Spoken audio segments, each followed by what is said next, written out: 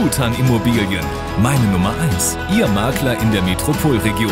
Kutan Immobilien.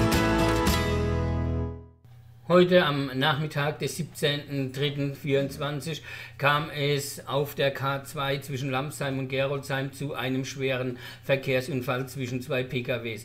Aus noch ungeklärter Ursache kollidierten die beiden Fahrzeuge auf freier Strecke. Ein PKW wurde in den angrenzenden Acker geschleudert.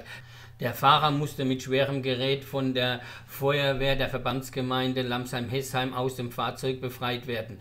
Insgesamt gab es drei Verletzte. Nach ersten Erkenntnissen erlitten zwei Personen leichtere Verletzungen und eine Person schwere Verletzungen.